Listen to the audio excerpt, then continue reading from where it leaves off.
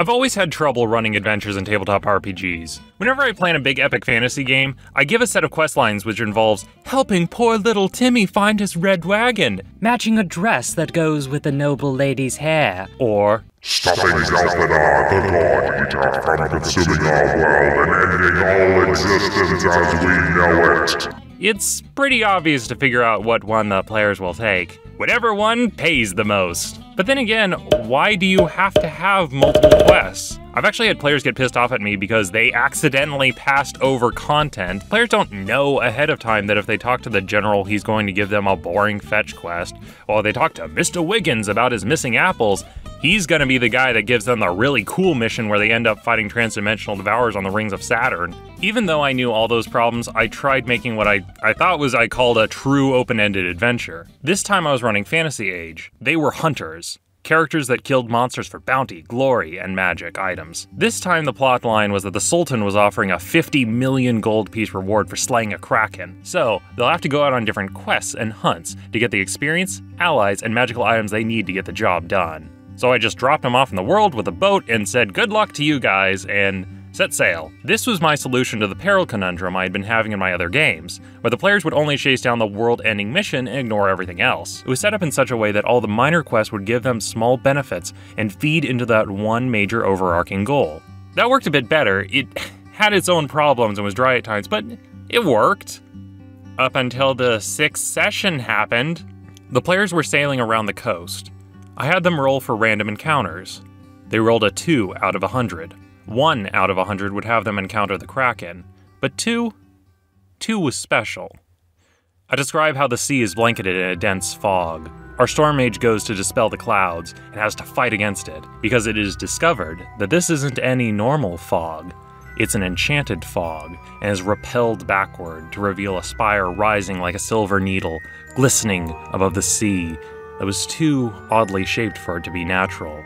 They dock at the cave port and climb to the top where they found ancient crumbling ruins, the remains of a temple to the moon. Inside, they find a magical artifact which is generating the fog.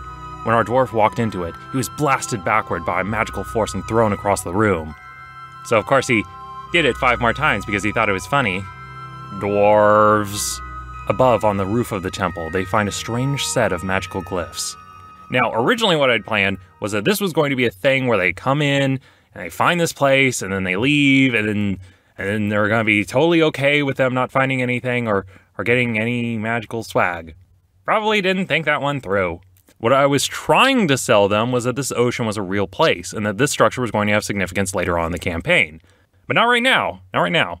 I mean, they couldn't do anything right now because I had set the DC so high to use this magical circle that in order to activate, they needed like a critical success. So, they find out that in order to use it, the thing only activates at certain times of the week. And, ah, shucks, it seems like it's not that time yet. We'll wait. Well, then, so you guys wait. I was kind of hinting that maybe the players should be moving on, which they weren't having none of it. It's funny, I think the players were expecting to see something cool here because this place is hidden. If it's hidden, that means there's cool stuff here because no one goes to great lengths to hide something and it doesn't have anything cool there. And they seem dead set on not leaving this place empty handed. One night later, at midnight, there is a glow at the circle, and moonlight rises up into the night sky and pierces the darkness. The youngest character runs up and vanishes in the light. The rogue and wizard are like, we gotta go after them, and jump inside, vanishing as well. The dwarf and ranger are the last ones left, and they see the light slowly fading. The dwarf is like, Do we really gotta go after them? They'll probably be back. We just wait here and shove. The elf shoved him in and then jumped in herself.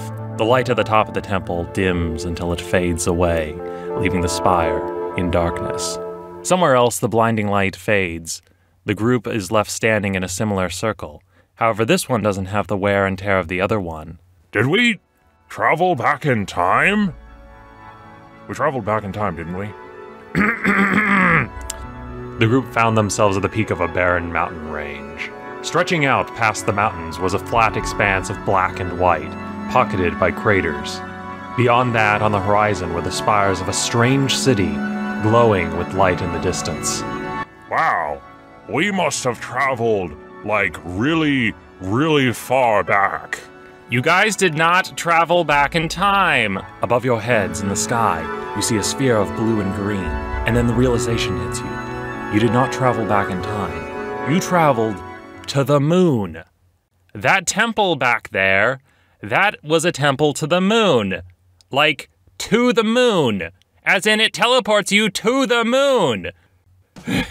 I mean, you guys weren't supposed to actually use it. This place would just be referenced later on in the campaign, and then you guys would say, like, oh, hey, remember that one weird place we went to that one time and nothing happened? Remember? Yeah, I do. Wait, why are we not dead yet? The moon in my world has its own atmosphere and is breathable. It's like a separate plane of existence. Cool. Can we use this magic circle to get back? It's currently set up so that way you can get here, but you can't use it to get back. It seems like this end of the portal was closed off, but not the other one. So, how how do we get back? Ben? Ben? Ben?